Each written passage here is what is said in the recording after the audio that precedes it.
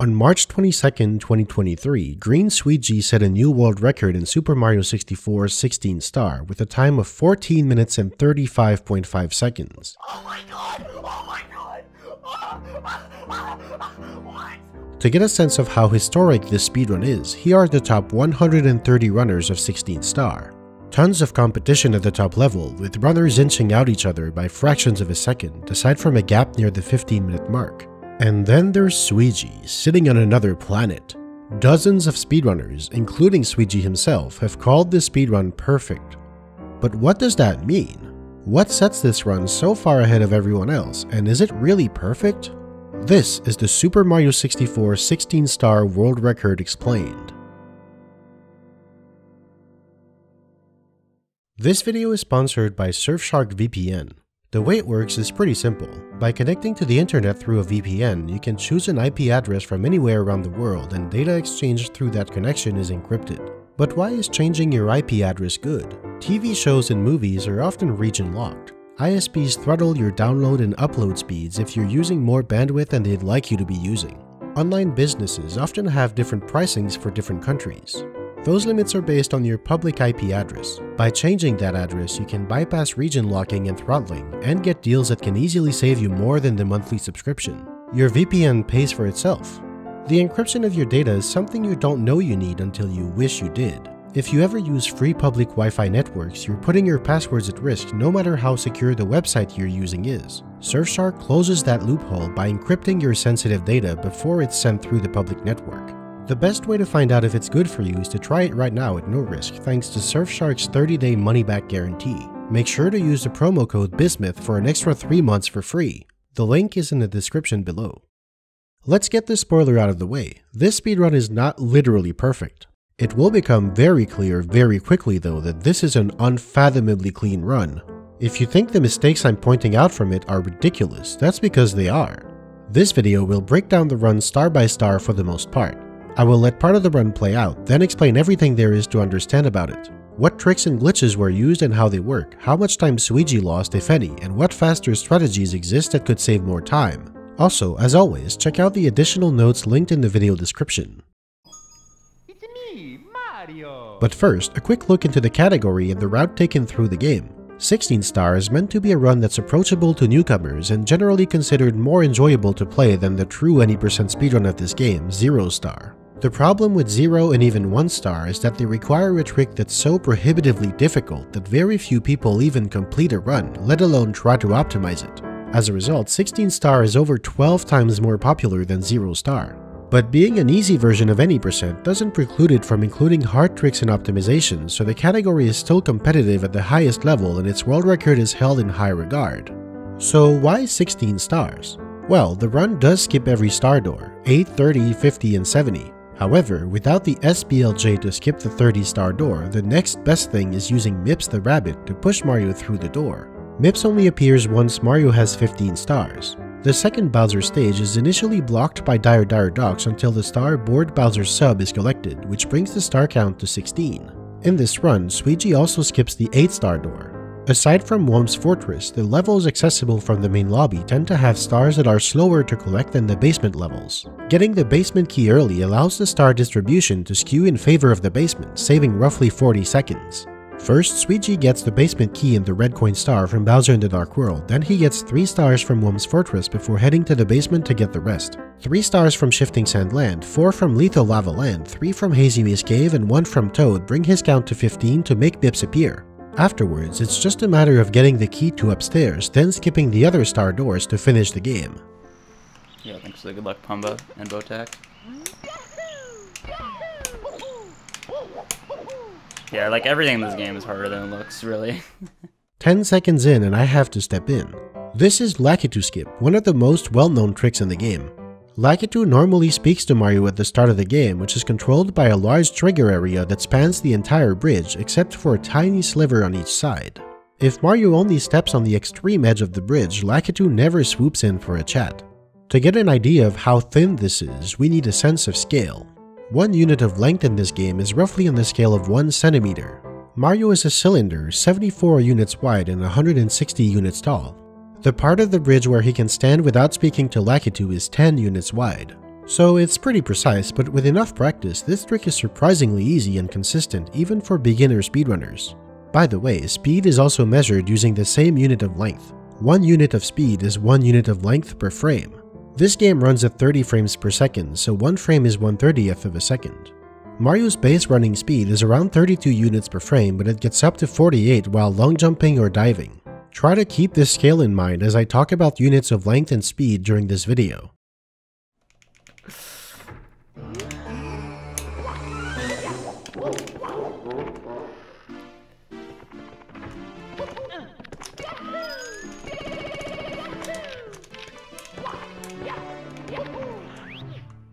This is the first big trick of the run, the 8 star door skip, also called the lobby backwards long jump. The trick begins with Mario jumping right through a ceiling. This can happen because the lobby's pillars have a bit of floor under them that's normally inaccessible. The floor happens to come very close to the ceiling below, so close in fact that by jumping into the right spot, Mario can grab onto the floor like he can on any ledge. When Mario is holding onto a ledge like this, his apparent position is disjointed from his actual position. Even though he looks like he's hanging down, his hitbox is actually the same as if he were standing. Therefore, the instant that Mario grabs onto the ledge, his position snaps onto the floor above, allowing him to go right through the ceiling. This is backwards long jumping, or BLJ for short. A long jump multiplies Mario's speed by 1.5 up to a cap, 48 speed forwards and 16 speed backwards. But while the forward speed is hard capped, the backward speed is only soft capped, in other words, if a long jump were to give Mario more than 48 speed, it will be fixed to 48. Meanwhile, his negative speed can go beyond 16, but it'll gradually come back down to 16. This usually isn't a problem because Mario decelerates quickly enough that it goes back to negative 16 very quickly after jumping. However, if Mario is in a position where he can jump repeatedly fast enough, he can increase his speed exponentially until it reaches thousands or even more. The geometry of this area allows him to do just that, once Mario is here, this diagonal side has no wall. Some of it is bordered by the hitbox of the ceiling below, and some of it is bordered by out of bounds. It's quite precise to do this without being pushed back out, but it is possible to have Mario long jump and reverse into the ceiling. With his back against the ceiling, he's prevented from moving into it and his vertical speed is zeroed out, so he lands immediately. As soon as he lands, he can long jump again and repeat this process. But while his vertical speed is set to zero by the ceiling, his horizontal speed is preserved so he can grow it exponentially. After only 14 jumps, his speed is on the order of about 1000. Mario then shoots out of this spot and into the black room behind the door. This room is simply there for the cutscenes when Mario is coming in and out of the castle. It has just a bit of floor and no walls, everything beyond it is out of bounds. After completing a 180 degree turn, he zooms across the hall and up the stairs, then passes right through the 8 star door. The reason Mario can clip through walls and doors at this speed is quite simple, he's just moving that fast. Mario is in front of the wall, then completely beyond it on the next frame. Wall hitboxes are 100 units thick, but Mario actually needs 4 times that speed to get through. To improve its accuracy with collision detection, when calculating Mario's movement, the game splits each frame into 4 equal parts called quarter steps. Since to get through a wall, Mario needs to be in front of it on one quarter step and beyond it on the next, it requires a speed of at least 400 units per frame. By the way, this is a gross oversimplification, the actual walls in this area look like this. To get up the stairs, he needs to slow down a bit. Mario's speed up a slope is limited by how much he can move and still be within the floor hitbox of that slope. With too much speed, he tries to move into the ceiling below instead and gets stuck until his speed comes down. Thankfully, jumping instantly bring his speed down by 20%. The jump gets nowhere because the height of a jump is indirectly proportional to Mario's speed, so with a high enough negative speed, the jump gets negative height and Mario lands on the next frame. Finally, he can get up the stairs through the 8-star door and into the Bowser stage. The LBLJ is a very hard trick that requires a precise position for the initial long jump. Then, an accurate BLJ that gives Mario just enough speed to clip through walls but not so much as to clip back out and ruin the whole thing. Then quickly turning around and aiming for the lobby stairs while controlling the speed to go up the staircase. Finally, redirecting his speed towards the 8-star door and phasing through it, all in a few seconds. Suigi lost roughly half a second in this segment. When he turned around behind the door, he spent a few frames unable to turn. When the trapdoor opened, Mario moved to the side, which is slower, Standing in the middle lets Mario be carried down with the trapdoor and being on the side forces him to slide down into the level entrance instead. Finally, there is a faster strategy for the lobby BLJ where Mario turns around much faster behind the door which could save another half a second or so, but it's very inconsistent. The start of this run is hard enough as it is, and making it that much worse for half a second just isn't worth it. But that's just how it goes.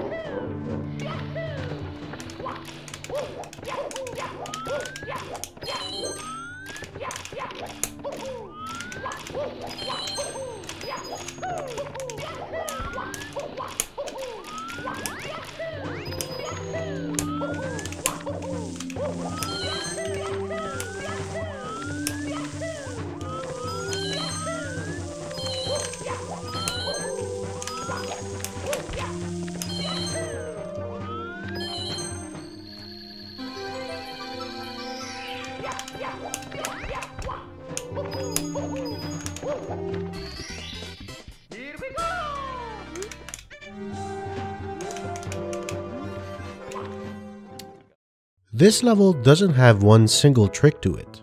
It's more of a constant stream of absurdly precise movement where one mistake ends the run. Less than 15% of all of Suigi's attempts even make it past the first Bowser.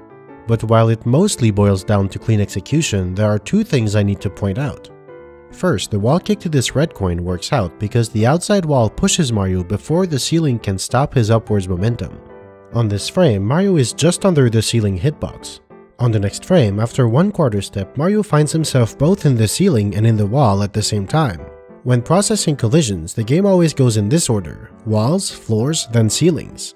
The wall hitbox is processed first, which pushes Mario out. At this point, he's no longer inside of the ceiling, so the collision with the ceiling is ignored.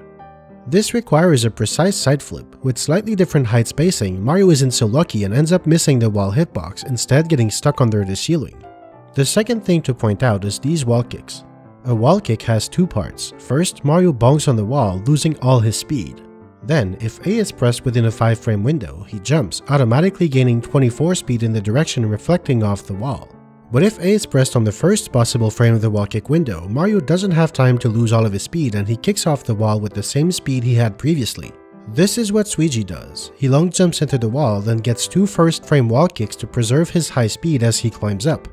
There's one very small time loss in this stage. When he jumped into the pipe, Suigi held A slightly too long and spent more time in the air than he needed.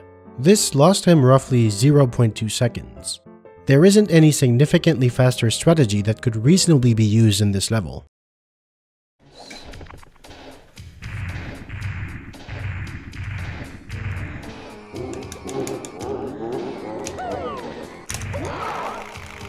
Here we go!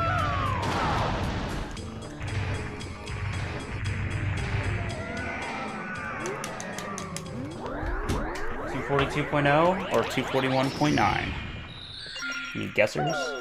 I think it's two forty-one point nine. For the good luck glitch. After getting the key, Suigi is trapped in this hallway, but thankfully you can pause and exit out of levels to go back to the castle's main lobby. He did it so quickly the menu never even appears, but he paused and scrolled down to exit course.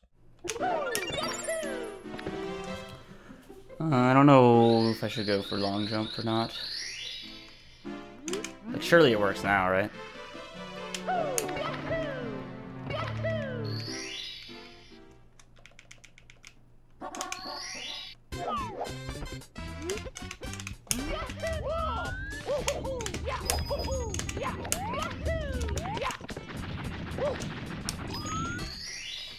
Here we go! No, fuck that.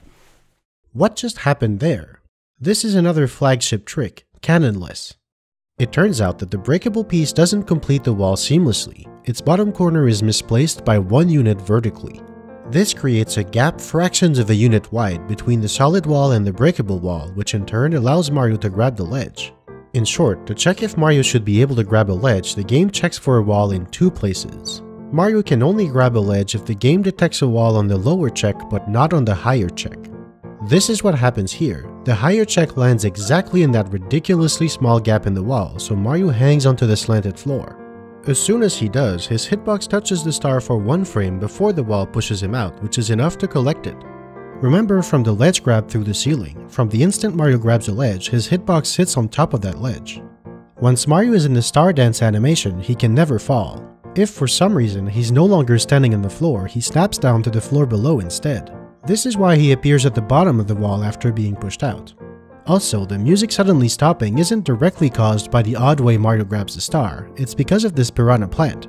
The lullaby pauses the main level music so it can resume later. However, at the same time, the Star Dance theme plays over the lullaby and stops the main level music completely. When Mario gets pushed out in downwarps, which should be the lullaby, stops playing, but it stops the Star Dance instead. Since the main level music was stopped, there's no music left to play. From the moment Suigi gets this trick, the run goes from mindlessly going through the motions to a serious attempt. Cannonless eats up half of the attempts that make it to this point. It requires a very precise position that's hard to reach consistently without an exact setup for Mario's speed and angle. Using a long jump instead could save up to 0.7 seconds, but its consistency is closer to about 25%.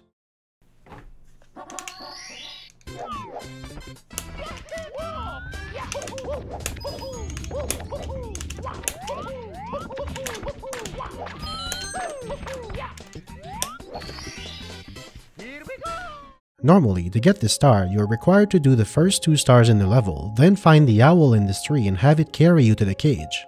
Instead, Suigi does a precise double jump wall kick to just barely make it onto the fence. This trick, called Owl-less, is hard but consistent, so top level runners like Suigi have no problem nailing it nearly every time.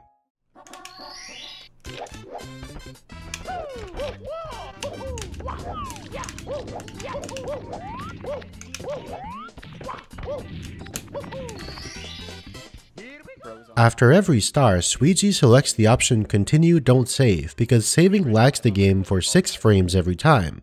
Since the menu has a 10 frame window where you can move the cursor but not select an option, it doesn't cost any time if it's done fast enough. Not saving is 3.5 seconds faster over the whole run.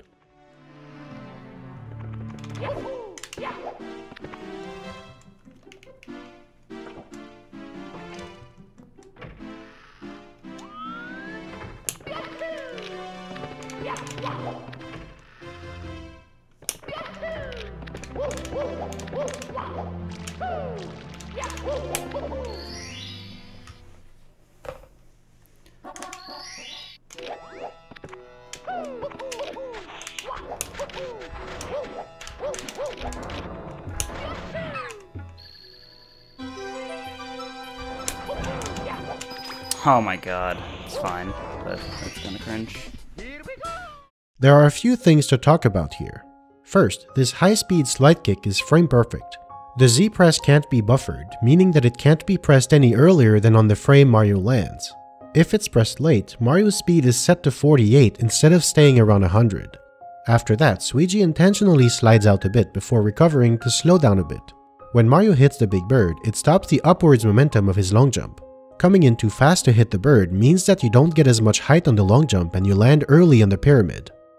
Here, Suigi tried to do a speed kick but missed. A speed kick works similarly to the slide kick. It can preserve higher speeds than the usual running speed of 32.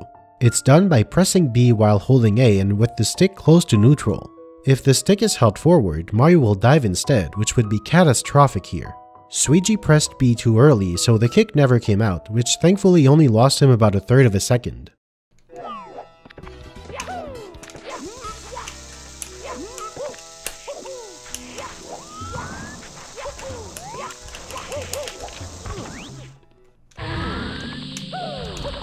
Yo, thanks Big Blue for the sub. This trick is known as pillarless because it skips having to stand on top of all four pillars to open the pyramid top. It involves three major glitches, the bloated bob-omb glitch, hands-free holding, and a ground pound clip. When Mario is holding an object, what you see in his hands is actually a visual copy of the object itself. The real object stays where it was grabbed until it's released, remaining loaded regardless of distance, but it's made invisible and intangible. This is known as the object being in limbo. Bob-ombs are different. While they are made invisible, they remain tangible and they follow Mario by hovering in front of him. Why? So that the smoke coming out of them looks like it's coming from the visual copy in Mario's hands. This, however, has a few side effects. Just before it explodes, a bob-omb dramatically increases in size for a few frames. When Mario grabs it in that bloated state, the invisible hovering Bob-omb is pushing him back. Since it stays just in front of Mario as long as he's holding it, it follows him around, pushing him back continuously. This is the bloated Bob-omb glitch. Next is hands-free holding. Here, Mario jump dives to re-grab the Bob-omb and lands onto a downward slope. This puts Mario in an unintended state. His action state is no longer defined as holding an object, but he still has a held object attached to him. Therefore, he can perform all sorts of actions that he wouldn't be able to do while holding an object, like double jumping or ground pounding. On top of being pushed backwards by the Bob-omb, this is what creates this crazy looking movement. Hands-free holding is a volatile state that's very easy to lose because Mario is always trying to drop the object if he can. Therefore, the movement to reach and scale the pyramid is precise and deliberate. Once he reaches the top of the pyramid, he ground pounds completely through the top piece and into the hole. He can do that because in the first part of the ground pound where Mario does a flip, his collision with level geometry is essentially disabled. This allows the Bob-omb to push him through the slope. He also lands directly in the tiny hole, which is another impressive bit of execution.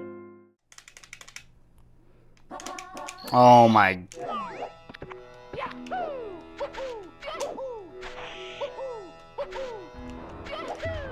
So slow. Jeez. Suigi is very disappointed here because he lost time to an easily avoidable mistake. He taps A and B in quick succession to select a star as early as possible, but he did it too early here and both button presses missed the input window.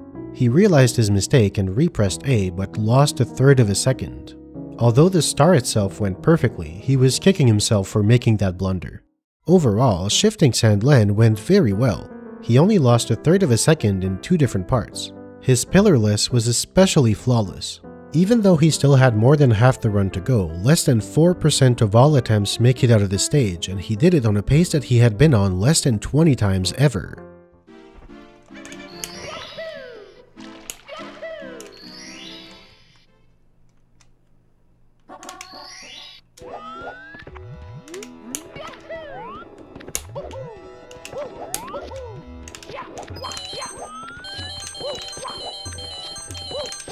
This star is quite straightforward. I have nothing to add to it.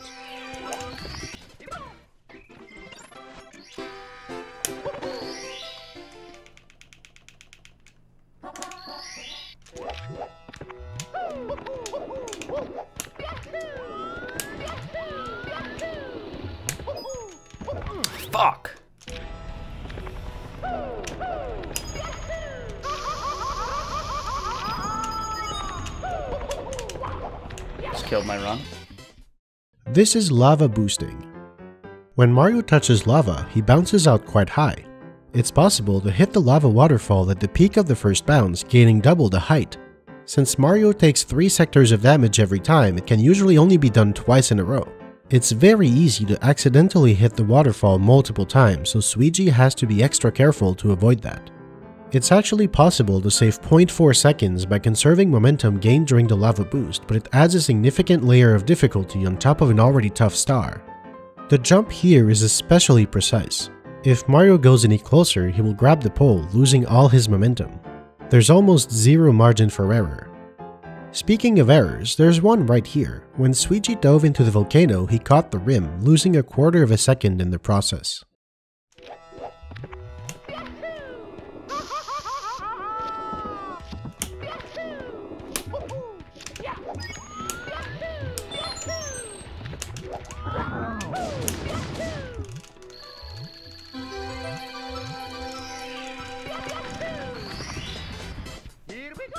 This star went flawlessly, but it could be done very slightly faster by clipping through the bridge with a lava bounce. This route only saves about 0.2 seconds though. This works simply because the bridge's only solid part is the floor, both the walls and the underside have no collision.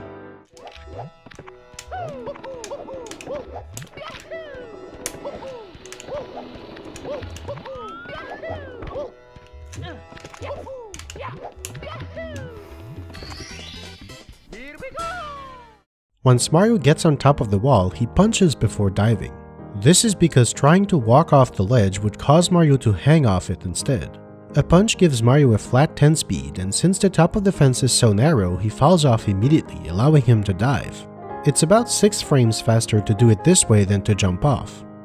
After a near perfect lethal lava land, Suigi was now on a pace that he had only ever seen less than 10 times. Going this deep into a run on world record pace is exceedingly rare and by now the nerves building up were starting to make him feel uneasy. But he wasn't out of the woods at all, the worst had yet to come.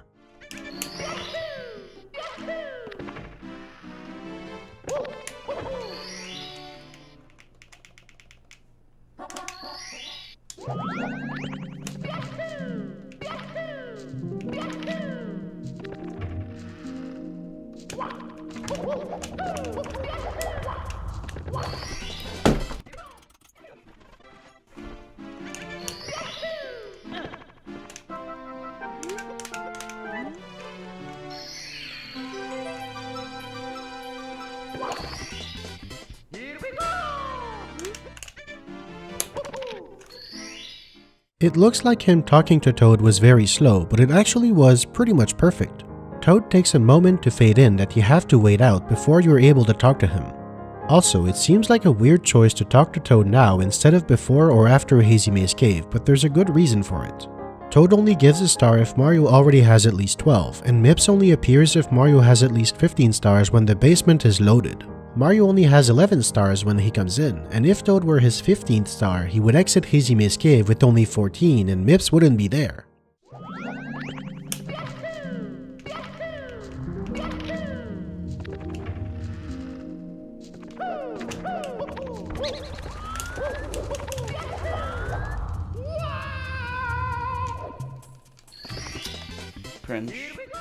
Most of Hazy Maze Cave has no ceiling.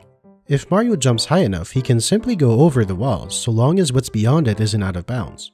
With a triple jump on the box, Mario easily clears the wall and ends up directly above the cavern at the bottom of the stage. Suigi actually comes very close to the death plane from the pits in the first room and he has to be careful to avoid it. Dude, come on, man.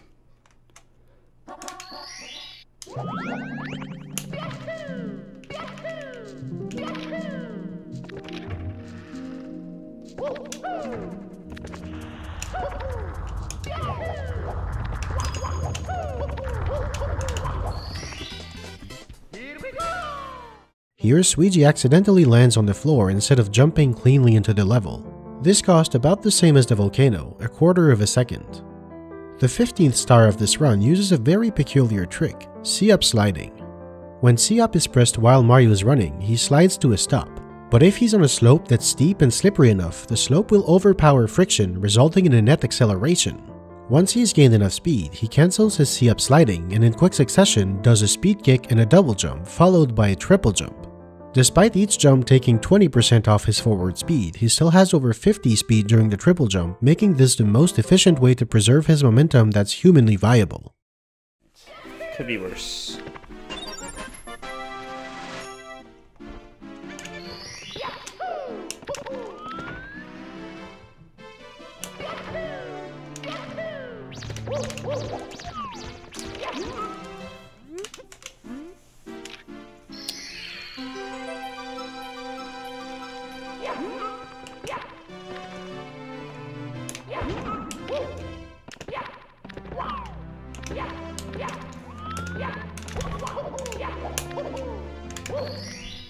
This is the first staple trick of 16 star, Mips Clip. The way this works is quite simple. When Mario drops an object like Mips, it appears a little bit in front of him. However, that would be out of bounds, so as a failsafe, it's placed directly on top of Mario. Because Mips is colliding with Mario and their position is exactly the same, Mario is pushed out in the same direction that he's facing and he ends up inside the door. You can actually see Mips being out of bounds when its shadow disappears. Once Mario is inside the door, he has to crouch to turn, otherwise he'd open the door instead. Then he can re-grab Mips, clip out on the other side, and keep going.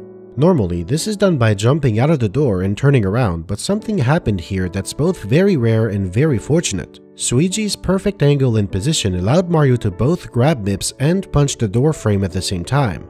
This pushes Mario back and clips him out in a single grab action, saving a full second.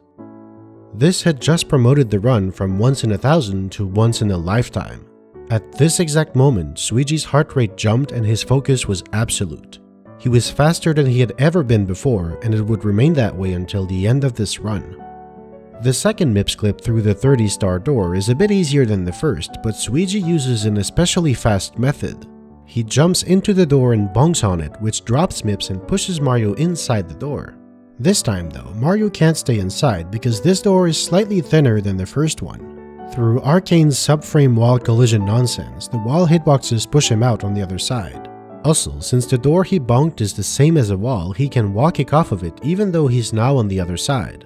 When he does, he now faces the inside wall, allowing him to wall kick a second time to face forward again.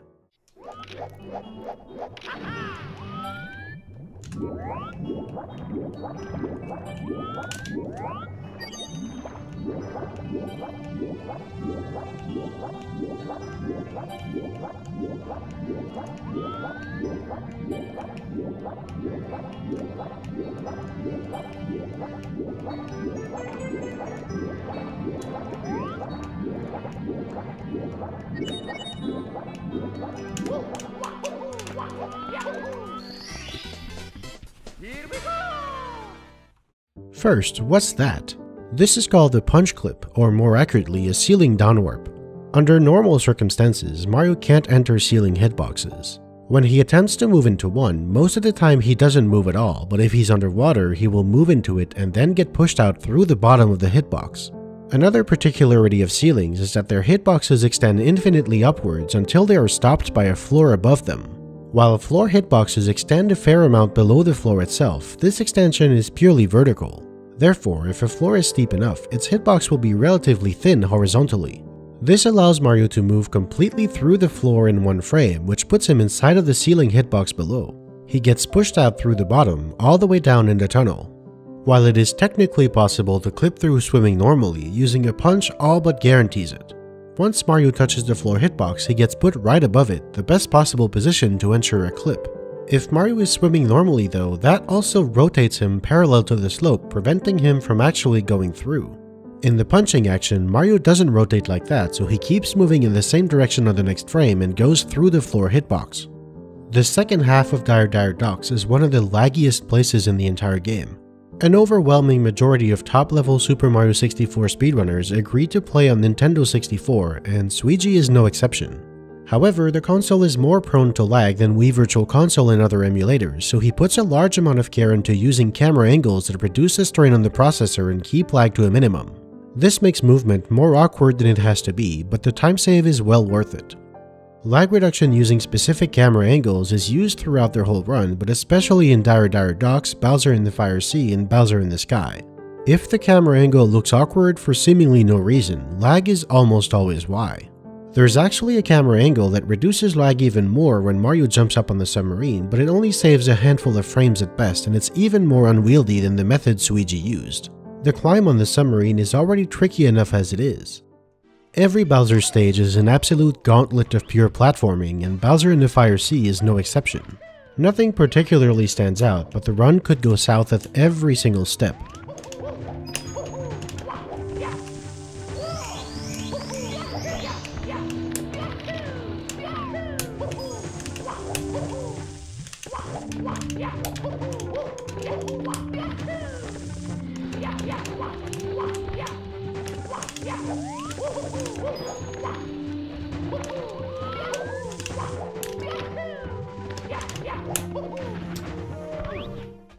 What is this magic? This is a rare case of an upwarp. Contrary to popular belief, it has absolutely nothing to do with the pole. It's actually caused by this ceiling and its special property, Mario can hang down from it. At any given point, the game tracks if the ceiling above Mario, if any, is hangable or not, so that Mario knows whether or not to grab it when he jumps into it. But there's one tiny error that throws a wrench in this process. Inside of a frame, the hangable property is updated after collisions are processed. Therefore, when Mario collides with the ceiling, the game checks the hangable property from the previous quarter step. As Mario hits the underside of this wooden piece, he's still considered to be under the hangable ceiling above, so he grabs that ceiling. Suigi immediately lets go by releasing A, which is why Mario falls on the pole, making it look like the pole is involved in some way. The section at the top could be 0.1 seconds faster with better lag reduction, but Suigi opted for a slightly laggier camera angle for safety here.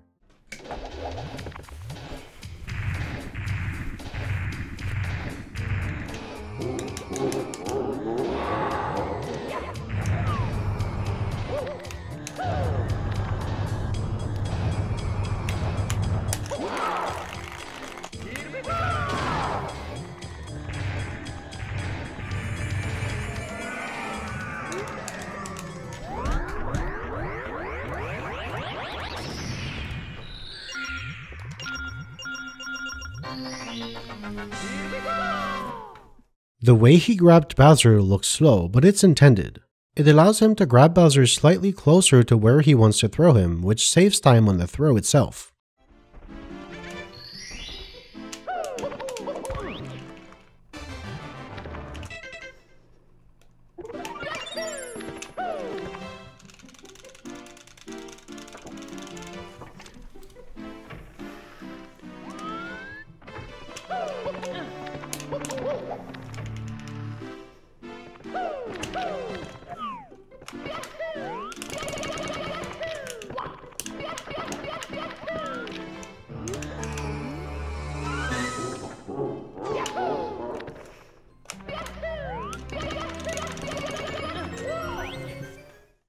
Here, the shape of the staircase allows Mario to grab onto the higher floor through the ceiling.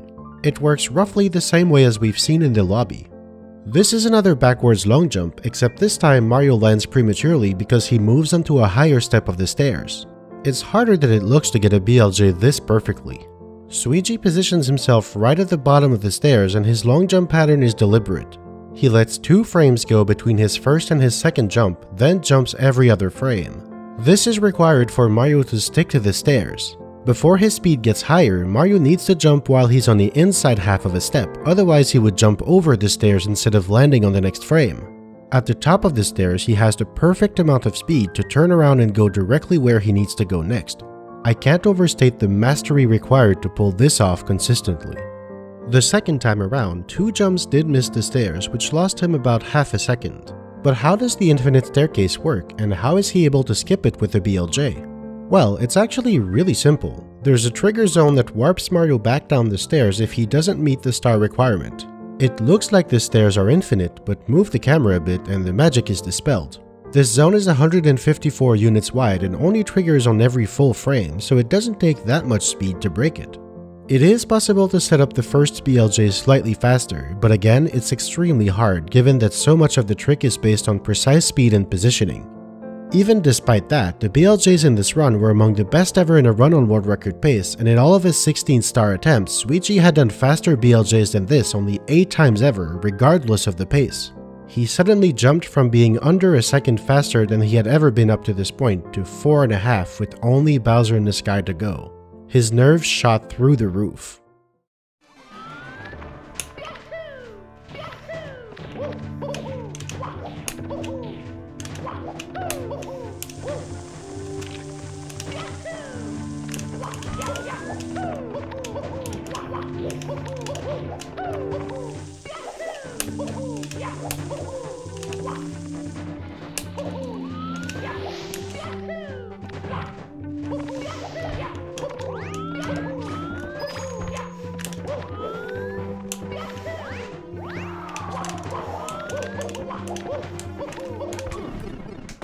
This has been dubbed TAS Long Jump. It's a shortcut that saves 1.4 seconds over the next fastest strategy, but it requires a pinpoint precise long jump to clear this gap by a hair. Everything matters here, Mario's speed, position, angle, and timing of his jump.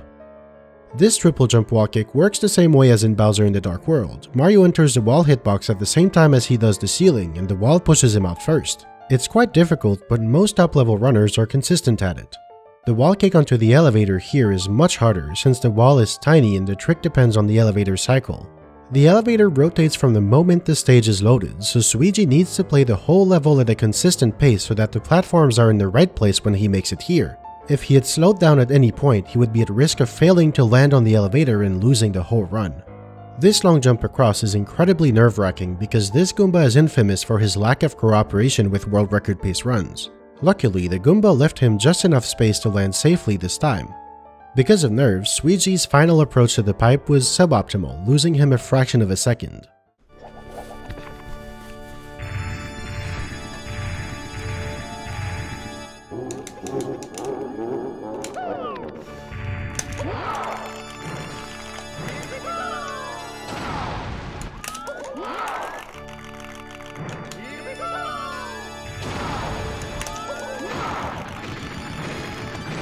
Sixteen stars dead. In any run on world record pace, the Bowser throws are extremely nerve-wracking. The window to hit Bowser with each throw is generally 2 frames, although it can vary a bit. Most of the time, one of the two frames gives a more direct line than the other frame. Suigi nailed these throws almost perfectly. The second throw was on the second frame, which caused Bowser to bounce and lose a few tenths of a second. Note that it's possible to do these throws half a second faster by spinning this stick about 8 full rotations per second, but Suigi himself stated that he was physically incapable of doing it. Only a small number of people are actually able to pull this off. Once the final throw hits, the hard part is done, but there's still work left. First, Suigi reduces lag by looking away from Bowser. Then he runs to talk to Bowser because text boxes preserve speed. When he gains control again, Mario already has full running speed, allowing him to end the run slightly faster. And with that, he had beaten Super Mario 64 with 16 stars in 14 minutes and 35.5 seconds, a new world record by almost 6 seconds. This run improved his margin over second place to over 15 seconds. That's more than the difference between second and ninth place, as well as the difference between 10th and 30th place. By now, there should be no question that this speedrun is one of the greatest of all time. Strategies so advanced that almost no one else does them, done with a precision and mastery never seen before. Zero mistakes beyond a few microscopic blips, none of which cost more than half a second. As we've seen throughout the run, the room for improvement is incredibly small, about a second and a half on the lobby BLJ, less than half a second in Bowser in the Dark World, 1 second in Whomp's Fortress, most of which coming from a faster cannonless setup, 1 second in Shifting Sand Land because of the two tiny mistakes Suigi made, about a second in Lethal Lava Land with faster strategies in avoiding the rim of the volcano, half a second in Hazy Maze Cave, mostly from when he didn't jump cleanly into the level, about half a second with better lag reduction in Dire Dire Docks and Bowser in the Fire Sea combined, less than a second with perfect BLJs and a faster setup on the first one, and finally, a second to a second and a half in Bowser in the Sky with tighter execution and faster throws. In total, there's roughly 8 seconds to save that are more or less viable. In 2020, CircuMark994 made a human theory TAS of this category using all the most advanced strategies used by real-time runners with perfect execution and got a final time of 1415.95, less than 20 seconds faster than Suigi's run.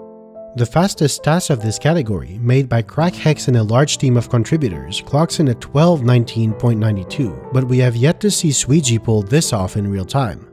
Until the robot overlords take over, this might be the most perfect speedrun of Super Mario 64 we'll ever get to see.